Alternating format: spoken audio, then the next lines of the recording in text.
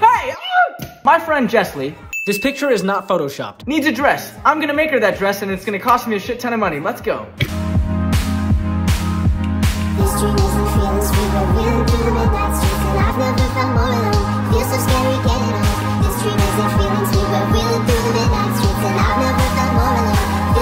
Look at all these laces. I'm getting this trim right here and it's 7.98 a yard and I need 16 and a half yards of it. That is so much money. What am I doing? Got the fabric. 14 year old Joe who played lacrosse would never believe that he now spends $140 on trim for a dress.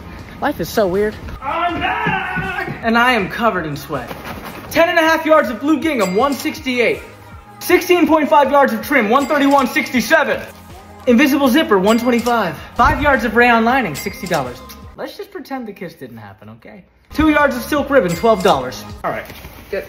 Okay. Altogether, that is 372.92.